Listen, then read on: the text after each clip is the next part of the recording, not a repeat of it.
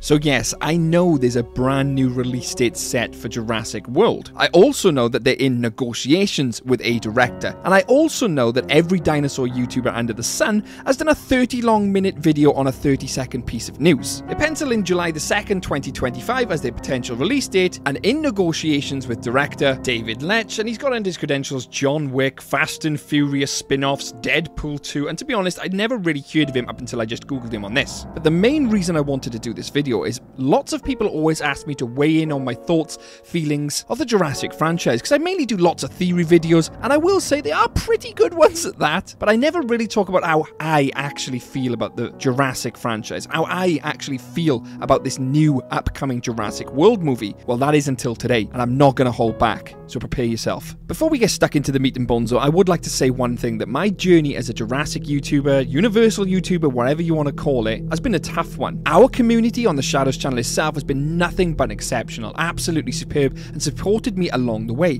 But other Jurassic Park slash Universal YouTubers, it's completely the opposite. In fact, they try to stunt my growth, constantly undermine me at every turn, and to the fact of the matter is, these YouTubers themselves are 10 times bigger than I even am. So it's quite disappointing to be a small YouTuber and constantly being pushed down by other big ones and getting accused of copying ideas and videos, which is impossible because we're all covering the same thing. No one owns the Jurassic franchise, no one owns these animals or theories. To say you own a theory or have owned this theory is absolutely absurd. For example, I did a video on the raptor stuck in the freezer, Clayton then does one a few days after. Would I dare say that he was copying me? No, of course I wouldn't. We share the love and passion of Jurassic. He did a video similar to mine a few days later. It's an interesting topic. I would never dare say he would copy. But certain other YouTubers seem to feel like they own the franchise and you can't do anything they have ever covered. Bear in mind, they've probably covered these things themselves, which other people have already done. This led to this toxic culture around Jurassic content creators, which I just didn't really want to be part of. So I've kind of been my own little person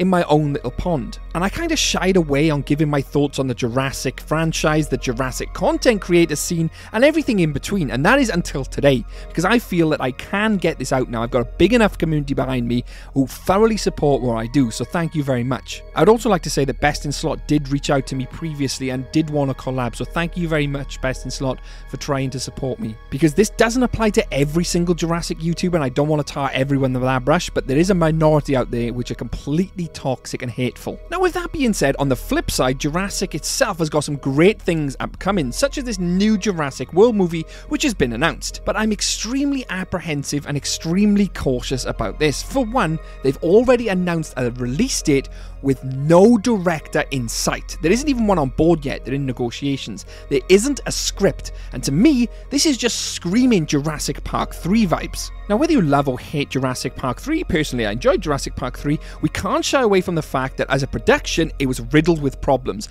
I mean, they were still writing the script as they were shooting it, and that is because it was constantly changed, constantly being rushed, editors, directors, all changing hands. And if Universal are not too careful, the same thing could happen with Jurassic Park 3. They rushed that out after the success of Lost World. Oh, Objection! Jurassic World Dominion, although it was met with mixed reviews and critique, in terms of financial monetary value, did extremely well for Universal. And obviously, with the talk of the upcoming new expansion plans in Universal Studios Florida, the talk of Universal bringing their own park to the UK, they're going to need a lot of funding for this. And what's their main source of income? Well, films and Jurassic Park. So it makes sense to get more of these movies out faster, right? To make more money so they can invest it to make more money. Now, I don't want to come across as a complete negative Nelly because I absolutely love Jurassic Park. I love Jurassic World. As you can tell, my entire channel is based on it. I love, love, love it. So for the fact that I'm saying these things is deeply hurtful to me as a huge fan because I really want another good Jurassic movie. I feel we haven't had one since Jurassic World, and that was okay. Fallen Kingdom in my eyes was mediocre, and Dominion to me was just a car crash. I know we have the upcoming Jurassic Park survival game coming out, which is great because we're going to return to Isla Nublar. We can explore Isla Nublar to our leisure, and hopefully it is canon to the franchise. I've done videos on that, so feel free to check them out whether it's canon or not. I believe it's going to be canon. But in terms of the film, I am extremely worried. I would love for it to return back to an old horror type feel, much like the original Jurassic Park suspense, horror, that kind of feel. But this new director that they're in negotiations with, now let's let's be clear, he isn't on board at the time of this video. They're currently in negotiation talks, but if they bring him on board, he's primarily action based. I do not want Fast and the Furious with dinosaurs. I don't want to see Vin Diesel coming in talking about family to a T-Rex and then all of a sudden gets on a Maserati with five velociraptors behind him. It's just just not what I want. I wanted to return to the original Jurassic Park franchise. Now I know this potentially could alienate some of the, my subscribers because they may feel that this is negative. It's not negative. It's just the way I'm feeling right now. I want the Jurassic franchise to succeed. I don't want them to make the same mistakes like they did with Dominion, going along with dinosaurs and Taken. You know, it was very strange combination. Dinosaurs being kidnapped, humans being kidnapped kidnapped. It was Jurassic Park's Taken. They have a great opportunity now to remake or even bring a new story, as they say, to the Jurassic World franchise. Can't they just go back to Park, replace Jurassic World with Jurassic Park? Let's go back to Park rather than World. There's a whole period in history from Jurassic Park 3 to Jurassic World with Isla Sorna, all the dinosaurs on there, the Spinosaurus.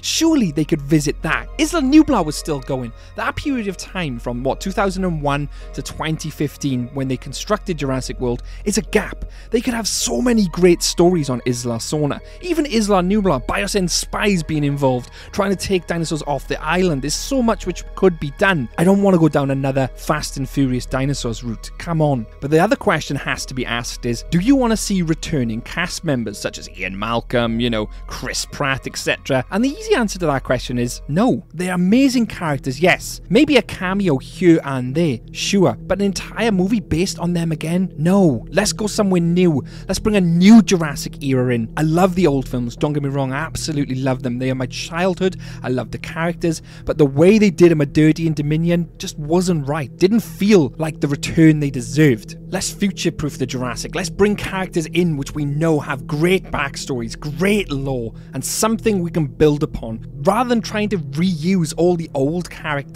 And Universal, if you can't do this, I can. I can do it. Get me involved. Because there's only so many times you can have dinosaurs loose on an island, people are involved, the dinosaurs have escaped, the people escaped the island. You know how it goes. We can only do that so many times. Let's think up a brand new, fresh story, reinvigorate the franchise, and build the Jurassic community stronger than it's ever been before. I'm hugely passionate about the Jurassic community, hugely passionate about my channel, or I wouldn't be putting everything on record right here, right now, laying all my thoughts down out in the open for you guys to hear. Essentially, leaving myself vulnerable. But I feel I have to get all these issues from being a content creator and from being a fan off my chest. Because at the heart of things, I am a fan just like you, a massive fan, but also a content creator, so I wanted to talk about both and my journey. I know many of you watch my channel for a while now, and this isn't my usual type of video. I'm not sat in front of a camera preaching to you guys, but I am talking about my thoughts and feelings, and I usually do a lot of